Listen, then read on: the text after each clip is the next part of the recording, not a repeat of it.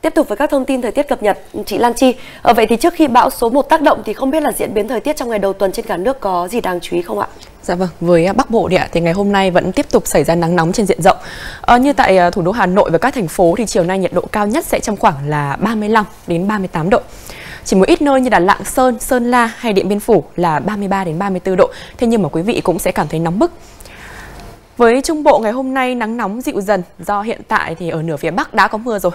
Nhờ có mưa mà nhiệt độ ở các thành phố như là Vinh, Hà Tĩnh, Đồng Hới hay Đông Hà giảm còn 33 đến 34 độ. Thế còn à, Thanh Hóa, Huế là khoảng 35 độ.